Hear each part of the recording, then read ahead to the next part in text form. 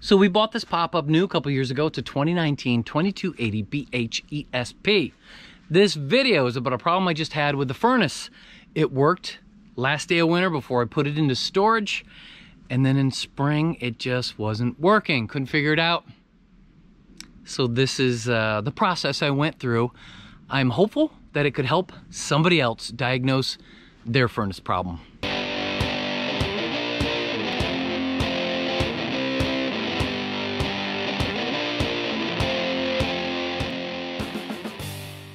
So some of you will recognize this. It's the furnace out of my Rockwood pop-up camper.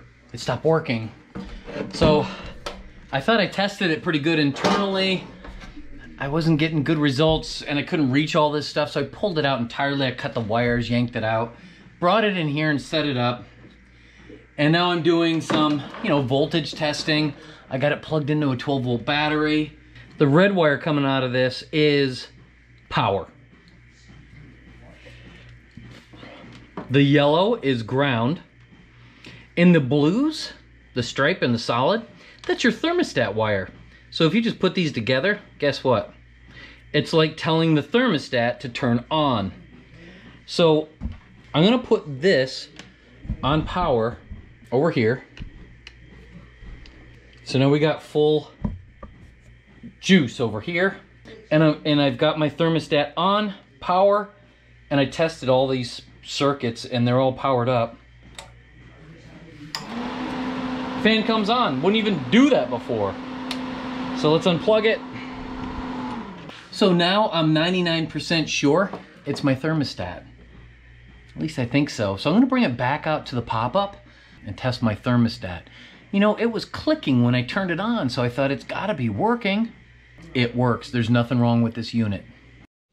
It's dark in here. Testing ohms. See what we got. Do we have continuity? I got nothing. Not even nothing. I...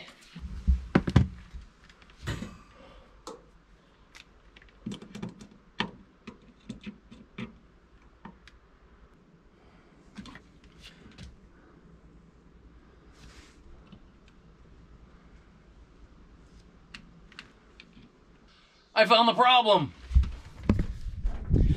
there's a wire completely disconnected in here. It's just hanging free. Furnace is fine, thermostat's fine, wire disconnected. Wow, what a stupid thing. Do you see? this wire is completely disconnected from that switch. Wow.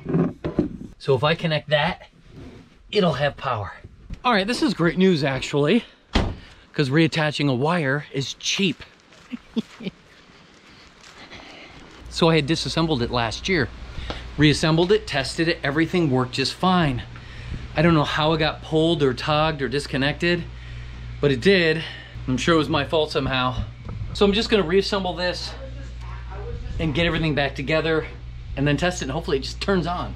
Remember, there's an on-off switch here. Don't forget that, that's important. So this can only go on one way. There's a port right here where all the wires come out and the wires are right here.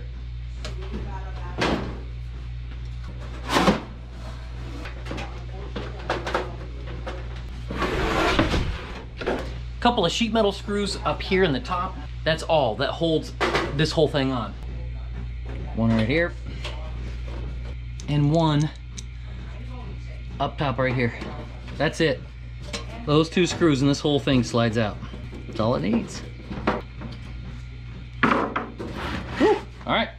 Sorry I didn't start recording this earlier. I didn't know it was gonna go this far. And then I thought maybe this process would help someone else. I opened this uh, little clip back up so I could reclamp it. Fresh wire.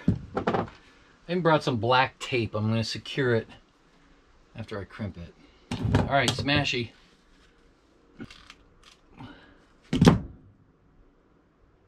All right, I smashed it. I'm just going to smash it the once. I'm not going to smash it again. I'm going to put a little extra taper on the base just to keep it from sliding out, just in case it's a little loose.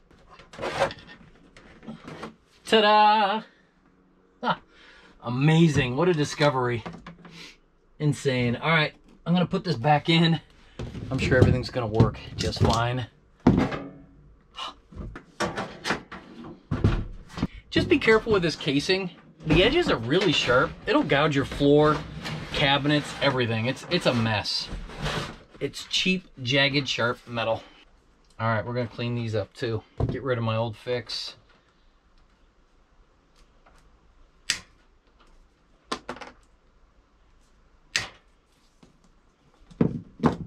Green goes to red. Power. That's good. Yellow.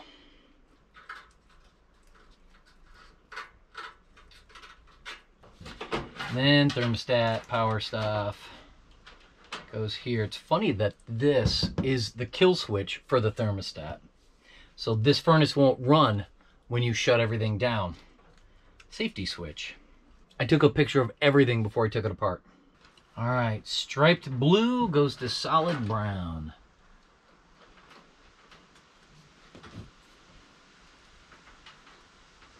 And then there's a brown one with a bunch of little like writing on it. It goes to the solid blue.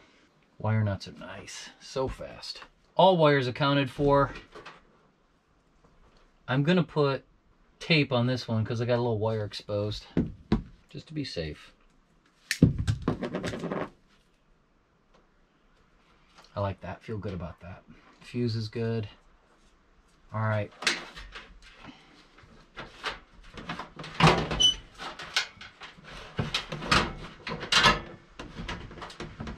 When you take this thing in and out, by the way, the propane line comes out. Like you have some room to pull it out with you. So you keep it in the hole until you get it out, then you pull it out of the way and the whole thing comes out. Wires get tucked back in carefully, gently, lovingly. And then the lining it up, there's exhaust vents back there. I just wiggle it until they go. Everything's fine, don't come in here. There it goes. Started. Oh, can I get the line on? Oh yeah. There it goes. line on. Woo, look at that.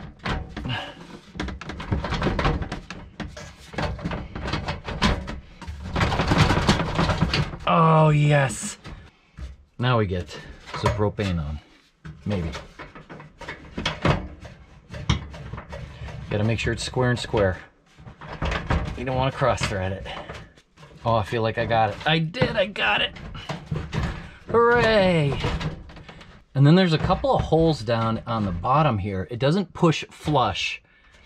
There's a couple of holes down here and here that you line those up and that's where you stop. You don't need to push it back any further. Speed wrench.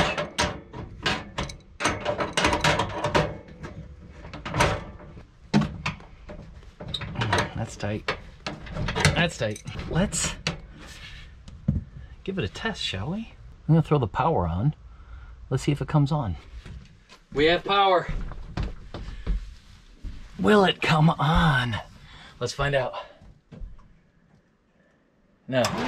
Yeah! Yes!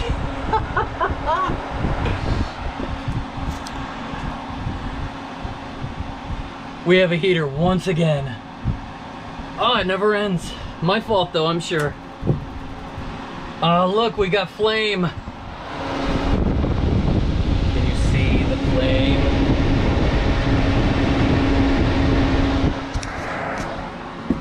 That's so good. All right, this project is complete. I'm gonna shut it back off, screw it down, put the cover back on. We have heat again. Man, I am getting to know this camper so well. I'm just glad it wasn't like the little circuit board or anything because I would have had to wait for parts. Who know if parts are available? I'm so thankful that was just what it was. I never thought of looking up at that wire spot. Now I know. And now I know that emergency switch is connected directly to this furnace. Whew. God bless you. Thanks for watching. Hope this is a help to somebody. See you next video.